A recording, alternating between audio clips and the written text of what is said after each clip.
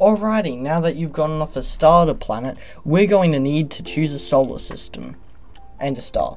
So, first thing to do is to make sure that your star that you're choosing is not light blue, as there will be players there. Also, make sure it's not a black hole, as there will be aliens there.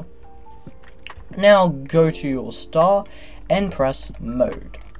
This will bring up the solar system view, and at the center will be your sun. Now, in order to check up what one of these planets has, uh, you need a telescope. Then you can configure the telescope to the same coordinates as the planet you want to view. Now, I've already got mine viewing at uh, this little green planet.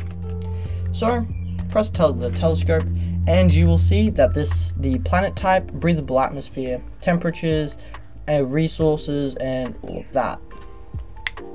Now, um, the planet types that you want is Forest and Terraria, I believe. This is because these two planets are easy to set up on. Make sure that you don't have any uh, Earth-likes in your solar system. You can have one or maybe two at most, but just try to limit the amount of Earth-likes that are in your solar system. Um, now you're going to need four main resources. The most important probably being uranium, and the other three are diamonds, titanium, and aluminium. These are necessary in pretty much uh, in a lot of really advanced things. So yeah, make sure you have that in at least in one planet or scattered around the solar system.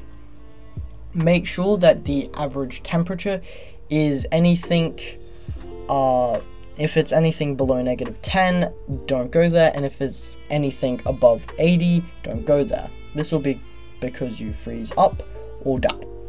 Um, breathable atmosphere isn't too bad if it's false or whatever, because you can just make an air supply. Our planet type, important, don't go into a gas type, you will die. Uh, water types are really difficult to set up on.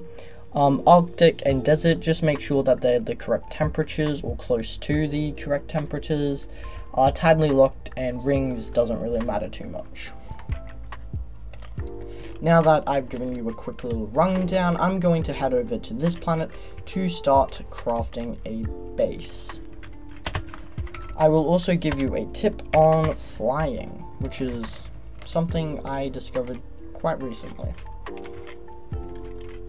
So, uh, make sure you have the cords in the hyperdrive, then click the button and you will head off to your uh, coordinates that you have chosen. Alrighty, um, there are a few players here as evidenced by the ship, but that's not too bad. Now, in order to get into a planet, you need to have a thruster and or ion drive, and you can just zoom into it. Now, if you've got a thruster, you can turn it off, and you will continue to fly straight. I believe it also works with an ion drive, but I'm not too sure.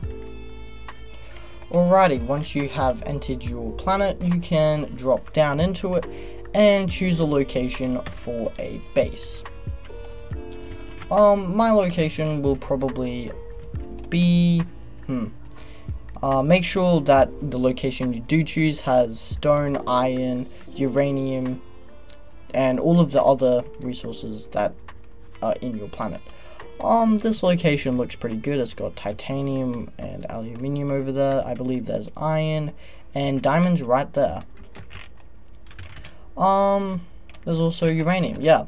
So that'll be it for this video. Uh, make sure to like and subscribe to see what to do when making a base. And until then, I will see you in the next one.